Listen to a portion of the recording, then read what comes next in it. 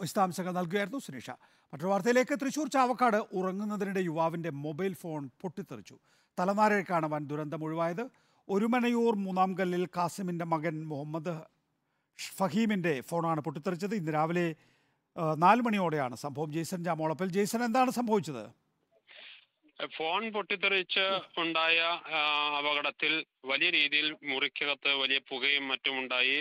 കട്ടിൽ കിടക്ക ഭാഗ്യമായി കത്തി നശിക്കുന്ന സാഹചര്യം ഉണ്ടായി. ഏഹ് ചാവക്കാട് ഒരുമനിയൂർ മൂന്നാങ്കല്ലിൽ പാറാട്ടുപീട്ടിൽ കാസിമിന്റെ വീട്ടിലാണ് ഇത്തരമൊരു സംഭവം പുലർച്ചയോടെ ഉണ്ടാകുന്നത്. അദ്ദേഹത്തിന്റെ മകൻ മുഹമ്മദ് തന്റെ ഫോൺ കിടക്കുന്നതിന് സമീപത്ത് വെച്ച് കിടന്നുറങ്ങുകയായിരുന്നു. ഇതിനിടയിലാണ് ഫോൺ പൊട്ടിത്തെറിക്കുന്ന ഒരു സാഹചര്യം ഉണ്ടായത്. ശബ്ദം കേട്ട് എണീറ്റ് നോക്കുമ്പോൾ റൂം മുഴുവൻ മുറി മുഴുവൻ പുകയായിരുന്നു.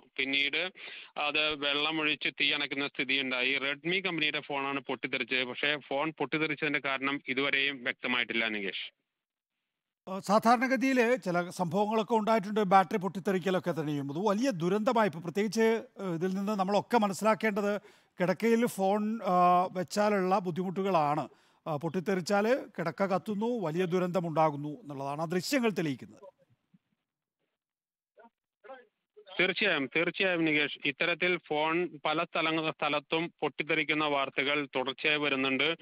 ഈ രീതിയിൽ തന്നെയാണ് ഇപ്പോഴുണ്ടായിരിക്കുന്ന സംഭവം. പുലർച്ചെ ഉണ്ടായ ഫോണിന്റെ പൊട്ടിത്തെറി വീട്ടുകാരെ മേറെ അമ്പരിപ്പിച്ചിട്ടുണ്ട്.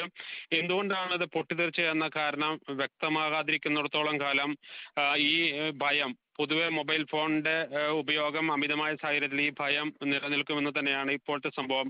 വെളിവാക്കുന്നത് ജെയ്സൺ ചാമോളപ്പിലാണ് വിശദാംശങ്ങൾ നൽകുന്നത്. റെഡ്മി ഫോണാണ് പൊട്ടിത്തെറിച്ചത്.